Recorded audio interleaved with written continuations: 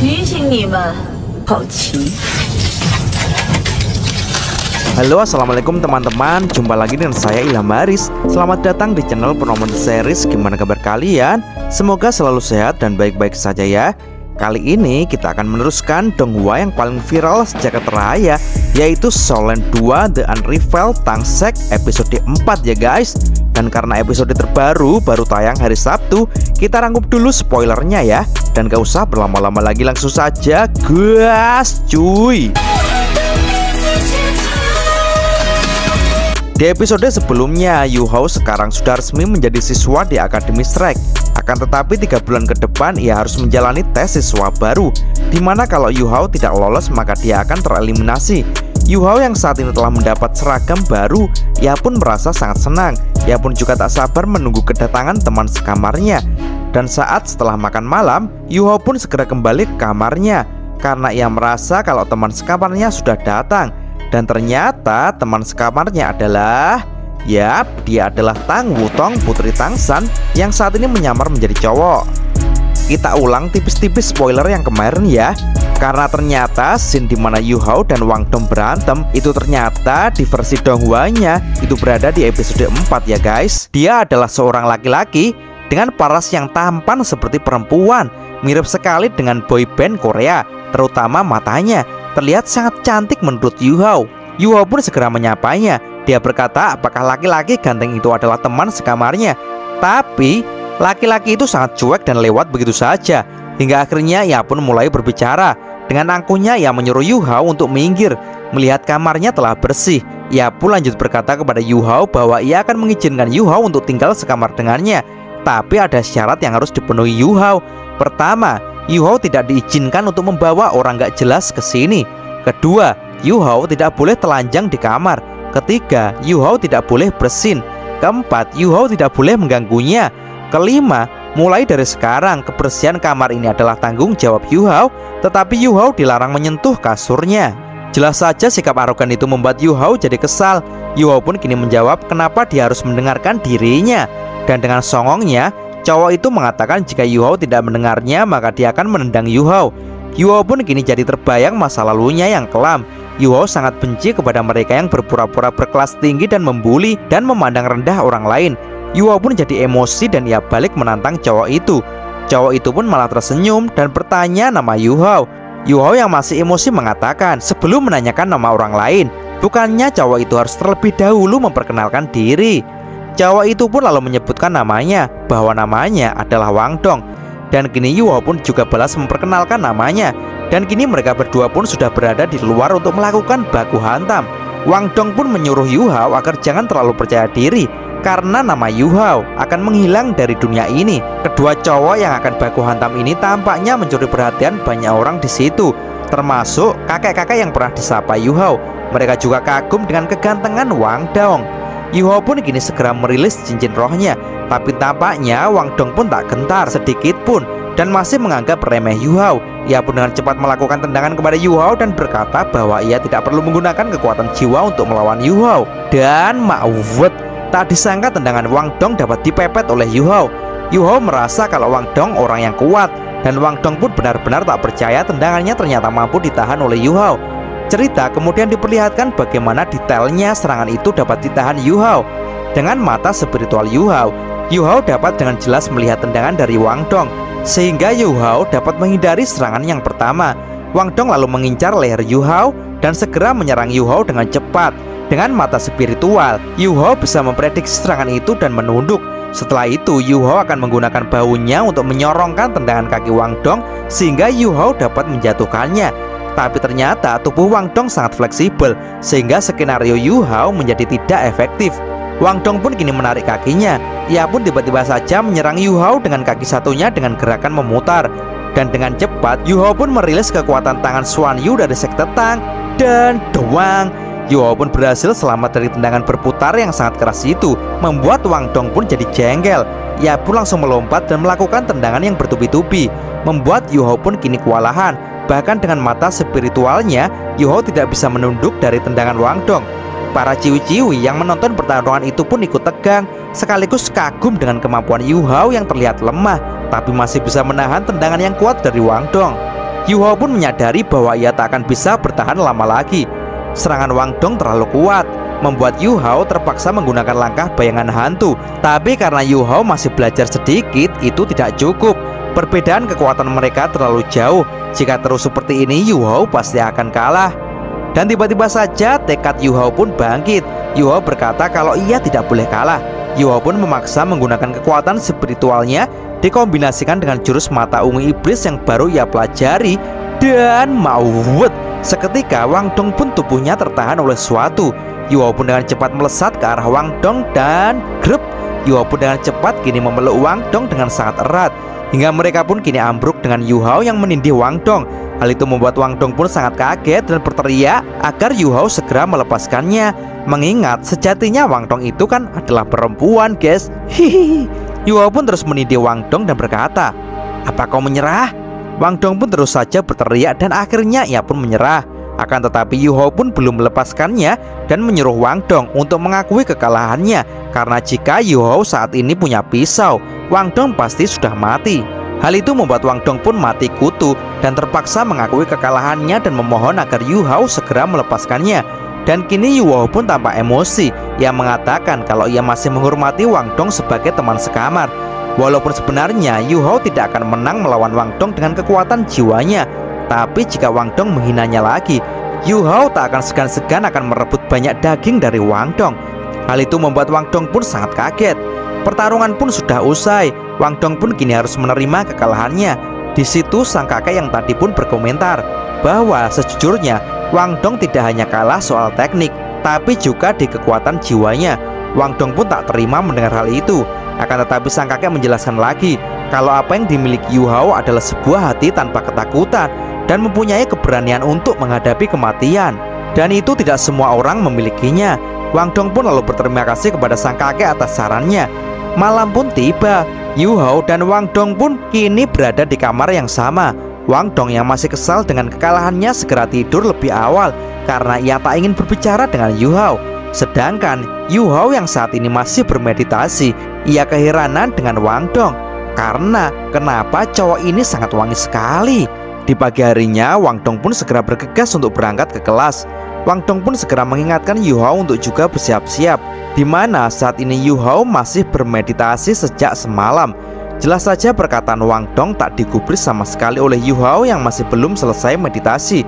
Wang Dong pun jadi kesal melihat Yu Hao yang dua hari ini yang dilakukan hanyalah makan, latihan, makan, dan latihan saja. Yu Hao pun saat ini masih kusyuk melakukan meditasi. Di dalam hati ia berkata, bahwa masih ada waktu setengah jam lagi sebelum masuk kelas. Yu Hao akan menggunakan jurus Swantian untuk menambah kekuatan jiwanya agar jauh lebih kuat lagi. Singkat cerita, Yu Hao pun sudah bergegas untuk memasuki kelas. Yu Hao sangat kagum dengan suasana di akademi yang sangat ramai dengan orang-orang yang berbakat. Di sana Yu Hao pun juga melihat bahwa Wang Dong yang terlalu ganteng kini didekati oleh para cewek. Dan kini seorang wanita paruh baya pun mulai datang dan memasuki kelas Yu Hao. Ia pun lalu segera memperkenalkan diri dengan suara yang keras dan tegas. Wanita itu berkata kalau namanya adalah Zuyi dan ia akan menjadi wali kelas di situ dan ia memperingatkan di kelasnya mereka yang lemah akan gagal karena tujuannya yaitu menciptakan seorang monster bukan seorang sampah. Guru Zuyi pun lalu menyuruh anak yang berduel pada hari itu untuk berdiri. Yu Hao pun segera berdiri. Hal itu membuat Yu Hao pun kini jadi pusat perhatian di dalam kelas.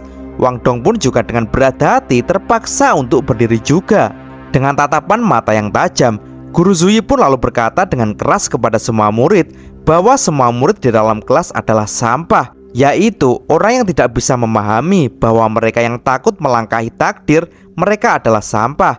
Dan tak disangka dengan tegas Guru Zuyi mengatakan bahwa selain Yu Hao dan Wang Dong, semua murid harus berlari 100 putaran di lapangan sekolah dan mereka yang gagal akan dikeluarkan. Jelas saja hal itu membuat semua murid menjadi terkejut. Mereka pun dengan lirih saling menghujat kepada Guru Zuyi.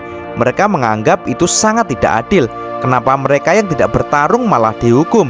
Dan ancaman Guru Zuyi juga terlalu parah. Padahal ini adalah hari pertama sekolah. Melihat hal itu, Guru Zuyi pun menatap tajam kepada semua murid. Dan ia lanjut berkata bahwa mereka yang menolak keputusannya boleh sekarang juga menghilang dari pandangannya Perkataan itu membuat semua murid pun semakin terhenyak Dan tak hanya itu, Guru Zuyi pun kini menunjukkan cincin rohnya kepada semuanya Dan Guru Zuyi lanjut mengatakan bahwa sebagai wali kelas dia mempunyai hak untuk mengeluarkan murid-muridnya dan jika dalam waktu satu menit para murid tidak segera berlari, maka seluruh murid akan segera dikeluarkan. Para murid pun kini jadi sangat ketakutan melihat dua cincin roh Guru Zui yang berusia 10.000 tahun. Mereka pun dengan cepat segera mulai untuk berlari di lapangan sekolah. Guru Zui lanjut memperingatkan kepada semuanya bahwa para murid hanya punya waktu satu jam untuk menyelesaikan lari mereka. Mereka yang gagal mengatasi rintangan ini akan dibuang. Murid-murid pun menjadi ketakutan dan secepat mungkin segera berlari. Dan kini Guru Ziyi pun mulai menginterogasi Wang Dong dan juga Yu Hao. Ia pun bertanya apa alasan mereka berdua melakukan duel. Wang Dong masih terdiam karena ia bingung mau menjawab apa. Yu Hao pun lalu berkata bahwa sejujurnya mereka adalah teman sekamar dan karena sebuah argumen mereka akhirnya bertarung. Wang Dong pun tampak terkejut dengan Yu Hao yang dengan tenang menjawab dengan kejujuran. Guru Zuyi pun lalu dengan santai berkata, Yang benar, kalian berdua adalah teman sekamar Namun kalian juga bertarung Teman sekamar yang bertarung Hmm, sangat indah Kalian bertarung untuk menunjukkan siapa yang lebih unggul ya Dengan tatapan yang tajam, Guru Zuyi pun lanjut berkata Walau berduel adalah hal yang terhormat Ibu guru ini sangat membencinya ketika murid-murid ibu saling bertarung seperti itu Ingat, lain kali, jika kalian berdua ingin bertarung, lakukan dengan murid lain di kelas lain. Perkataan itu membuat Wang Dong sangat kaget. Di dalam hatinya ia berkata, benar-benar sangat kejam sekali guru Zuji ini. Yuho pun juga berkata di dalam hati, kalau benar apa yang dikatakan kakak Tangya, bahwa guru Zuyi sangat galak sekali. Guru Zuyi pun kini lanjut menjelaskan peraturan tentang duel di kelasnya, bahwa singkatnya, Duel atau pertarungan adalah metode untuk memperkuat fisik. Dan sekarang Wang Dong dan Yu Hao dipersilakan untuk berlari. Wang Dong pun jadi terhenyak Ia tak menyangka bahwa mereka berdua juga disuruh untuk berlari. Guru Ziyu pun dengan tegas mengatakan bahwa untuk mereka berdua tantangannya harus lebih besar Waktu berlari mereka berdua memang sama dengan yang lain Tapi mereka berdua telah menghabiskan waktu di sini Yuho pun tanpa pikir panjang dengan cepat segera menggeret Wang Dong untuk segera berlari Wang Dong pun kini sedikit protes kepada Yu Hao karena kenapa ia tiba-tiba menariknya seperti ini. Yu Hao pun dengan tegas mengatakan, jika tak mau segera dikeluarkan, maka mereka harus segera melakukan apa yang Guru Zuyi minta. Wang Dong pun jadi tak habis pikir kenapa saat ini mereka mempunyai guru yang benar-benar gila. Di saat mereka berdua berlari, Wang Dong pun bertanya kepada Yu Hao teknik apa yang ia gunakan saat mengalahkannya hari itu. Mungkinkah itu kekuatan jiwa tipe mental? Yuho pun menjawab kalau itu sebenarnya subjektif. Jika Wang Dong menggunakan kekuatan jiwanya juga, Yuho mengaku pasti dia yang akan kalah. Wang Dong pun kini dengan pedenya langsung berkata, Tentu saja, tidak banyak yang bisa melawanku. Yuho pun jadi agak kesal dengan sikap Wang Dong itu. Laki-laki dengan sifat itu, ucapnya dalam hati. Yuho pun lalu berkata, Hmm, apa kau lupa kau baru saja kalah dariku?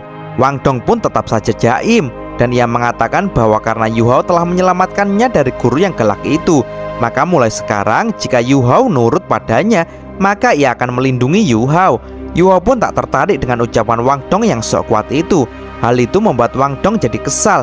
Ia pun segera berlari lebih cepat meninggalkan Yu Hao dan yang lain. Wang Dong benar-benar anak ajaib. Dia sudah beberapa kali melewati putaran demi putaran dan melewati teman sekelasnya juga. Dan kini ia pun sudah sampai di finish di posisi yang pertama. Guru Zui yang melihat hal itu pun jadi kagum dengan kemampuan Wang Dong karena walaupun Wang Dong terlambat memulainya, tapi dia masih menyelesaikan larinya di urutan pertama. Wang Dong pun kini melihat sebagian teman sekelasnya mulai menyelesaikan larinya. Dan akhirnya kini hanya tinggal Yu Hao yang tersisa. Yu Hao saat ini masih kurang 20 putaran. Melihat Yu Hao yang mempunyai fisik yang lemah seperti itu, Wang Dong jadi heran kenapa dia kalah saat bertarung dengannya. Dan terlihat Yu Hao pun kini berusaha sekuat tenaga untuk menyelesaikan larinya. Tapi saat ini kakinya sudah sangat berat untuk melangkah. Tenaganya juga hampir habis tapi Yu Hao pun tak menyerah, ia tak ingin gagal. Yu Hao pun kini mulai mengeluarkan kekuatan jiwa serangannya dan kini ia pun bisa berlari lebih cepat lagi. Wang Dong yang melihat hal itu pun jadi heran karena dia tahu Yu Hao sebenarnya sudah tak mampu untuk melanjutkan larinya. Tapi ia masih ngotot untuk terus berlari Dengan hanya sedikit waktu yang tersisa Dan juga masih banyak putaran yang harus diselesaikan Yu Hao Maka tidak mungkin Yu Hao bisa menyelesaikan ini Wang Dong yang masih kesal kepada Yu Hao pun berkata Kalau kali ini Yu Hao pantas mendapatkannya Dan terlihat saat ini Yu Hao pun mati-matian untuk terus berlari Tapi saat ini Yu Hao masih merasakan kalau tubuhnya sangat berat Yuho pun berusaha menggerakkan tangannya agar dia bisa lari lebih cepat lagi. Dan kini waktu tinggal 5 menit lagi dan Yuho masih harus menyelesaikan 12 putaran lagi. Dengan keringat yang mengalir deras, Yuho pun terus memaksa tubuhnya untuk lari. Dan kini tubuh Yuho yang sudah sangat lemas pun mulai terjatuh ke depan. Tapi tiba-tiba saja mak grep Tak disangka kini muncul seseorang yang memegangi Yuho dengan kekuatan jiwa kupu-kupunya. Hal itu membuat semuanya pun terkejut. Yuho pun kini segera dibawa terbang oleh kekuatan jiwa kupu-kupu itu Dan ternyata orang yang menolong Yuho dan menggunakan kekuatan jiwa kupu-kupu itu adalah Wang Dong Dan cerita pun bersambung Oke teman-teman terima kasih sudah nyimak alur cerita kali ini sampai habis. Semoga teman-teman terhibur. Jangan lupa terus dukung channel ini agar terus berkembang ya. Dan sampai jumpa di episode selanjutnya. Assalamualaikum warahmatullahi wabarakatuh